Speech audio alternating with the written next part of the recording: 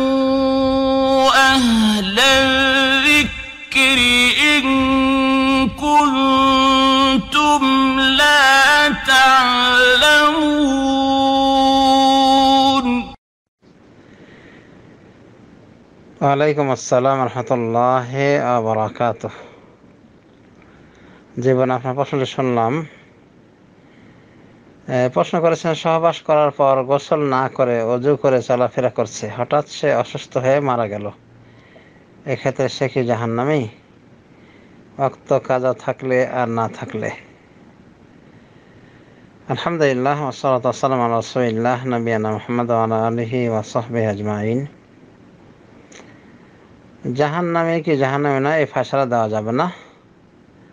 তবে আমাদের মনে রাখতে হবে যে সহবাস করার পরে গোসল সাথে করা ফরজ এমন কিছু নয়।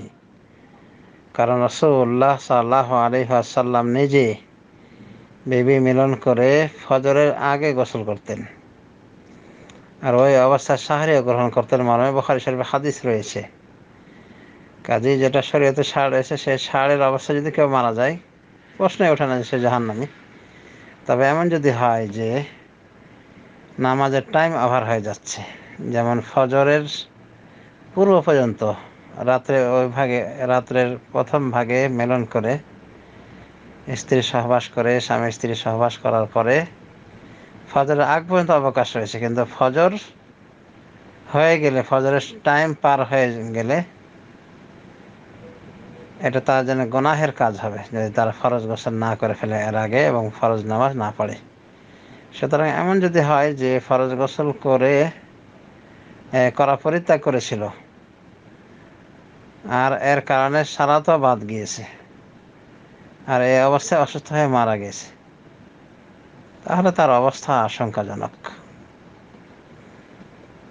অবশ্য অসুস্থ হলে তার জন্য কনসিডার রয়েছে, যদি ফরজ গোসল করতে অক্ষম হয় তায়ামম করে নেবে।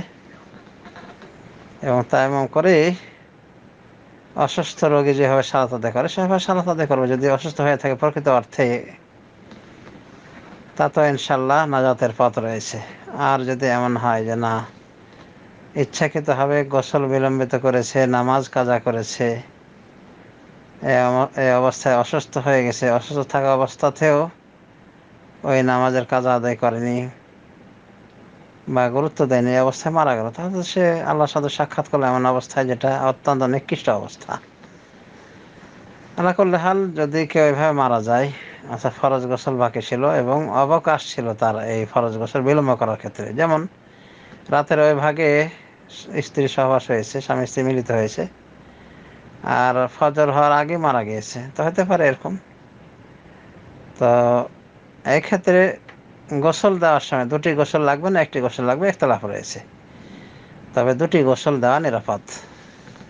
একটি ফরজ গোসল আর একটি জানাজার, এ, গোসল দাফনের গোসল। মৃতদেহ শবদেহ দাফনের গোসল। দুটি গোসল পৃথকভাবে দেওয়াটা উত্তম, যদিও এক গোসলে যথেষ্ট নিয়ত, নিয়তের মধ্যে দুই গোসলকে সামিল করবে। তো এই হলো কথা। আশা করি বুঝতে পেরেছেন বিষয়টি। যে বিষয়টি ব্যাখ্যা সাপেক্ষ, আল্লাহ তালা আলম সাল্লাহ নবীন মোহাম্মদ।